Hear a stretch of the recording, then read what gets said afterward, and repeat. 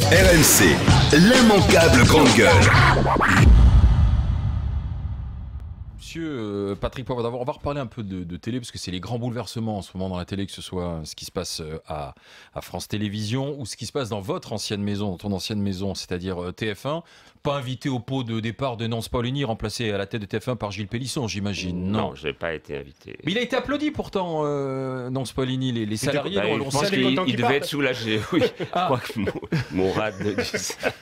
Parce qu'il il a, il a pendant huit ans laissé une telle ambiance là-bas. Enfin bon, peu importe. C'est derrière, euh, derrière lui euh, désormais, derrière les salariés de TF1 et, et, et surtout derrière moi, parce que j'ai fait beaucoup de choses de- depuis. Mhm. Euh, vous voyez, par exemple, l'arrivée de Gilles Pélisson, c'est une bonne nouvelle. C'est un, s'y Qui vient du groupe, du groupe Accor notamment, c'est un, Oui, un patron. et puis il a un privé, vrai oui. sens du management. Euh, sa première idée est de rappeler Ara Prikian, qui avait été injustement écarté et qui a besoin de... Voilà, il, il faut redoper ses, ses antennes de TF1. Et c'était une chaîne leader, c'était une chaîne très prestigieuse avant. Les gens regardaient beaucoup, d'une Mhm. part, mais c'était surtout... euh, on, on savait qu'on était sur TF1 quand on regardait. Qu'il n'y a plus de Maintenant, pas de ça se TF1, res- quoi. Bah, ce- tout, tout se ressemble et les 27 chaînes ont tendance à se ressembler les unes les autres. Je trouve que le service public euh, tire bien son épingle du jeu. Dommage. Dommage juste- que les conditions dont il se sépare des, des, euh, des collaborateurs soient à ce Chazal a été viré comme vous. Oui, d'une manière que je trouve Mais est-ce que vraiment c'est pas parce que- inélégante. D'accord, ouais, c'est ouais. inélégant, mais est-ce que c'est pas parce qu'aussi les, les stars de la télé ont tendance à oublier qu'elles sont des salariés comme les autres aussi? Non, ben évidemment, euh, ils ne sont même pas des salariés comme les autres. On est, on est mieux payés que les autres. Donc, on-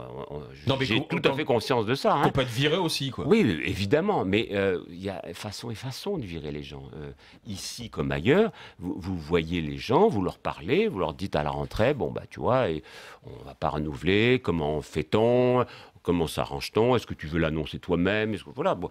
Et, et- et puis on imagine d'autres solutions derrière. Non, non, tout ça, ça doit se, se faire d'une manière humaine, tout simplement. Ouais, parce que ça, derrière, on entend, mais de quoi ils se plaignent? Ils Et- prennent quand même des gros chèques, ils vont Oui, pas mais- commencer mais à faire c'est pleurer. surtout pour ça, à de- faire je pleurer viens de Margot, vous le dire, Ouais. que, que je, je pense que c'est- ça serait indécent de se plaindre.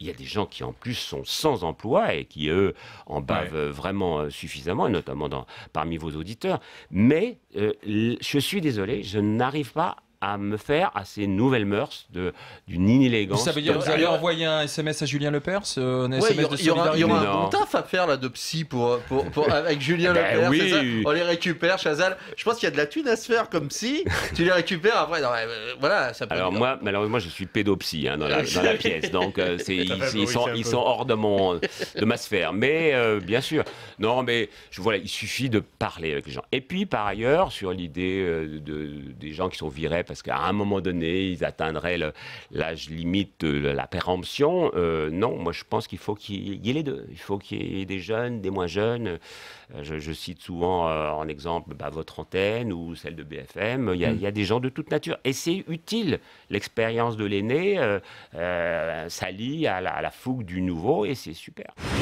RMC, l'immanquable grande gueule. Up,